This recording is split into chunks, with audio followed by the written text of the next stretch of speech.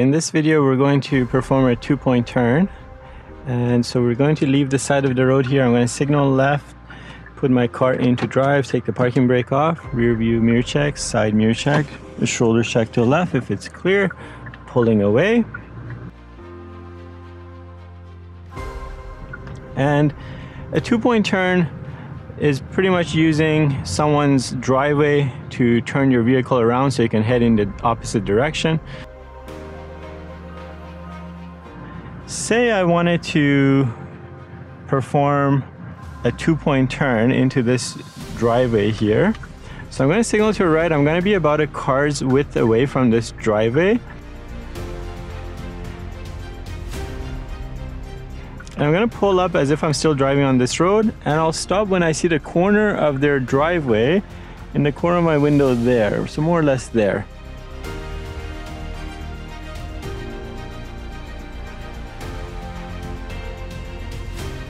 I'm gonna put it into reverse. I'm gonna crank all the way to the right as my signal's still on to the right. I'm gonna do a 360 check all around my vehicle. If it's clear, I start walking the car back. I'm looking out directly out the back window. I'm also looking into the side mirror here to make sure that once I am parallel with the tiles on their driveway, I'm gonna straighten out back to center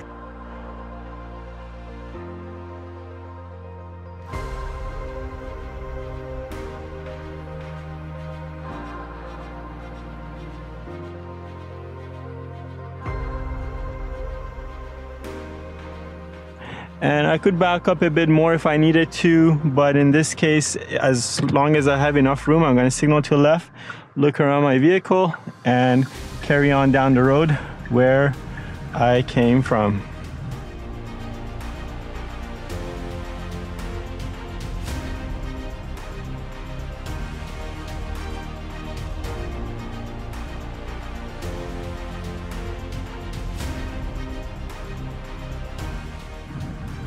And that's how that two point turn is done.